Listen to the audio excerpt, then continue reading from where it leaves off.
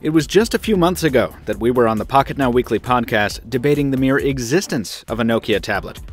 Well, time sure moves quickly, doesn't it? The 2520 is the latest in a long line of Lumias we've covered this season, but as Nokia's first ever Windows tablet, it deserves a close look before it goes on sale at AT&T this Friday. I'm Michael Fisher with Pocket Now, and we'll be giving it that close look in a full review coming soon. But for now, Here's our first impressions after a day spent with the Nokia Lumia 2520.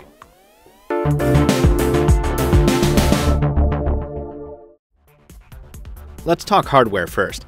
Coming out of the box, the 2520 feels pretty massive in the hand, and at 615 grams, it's no lightweight.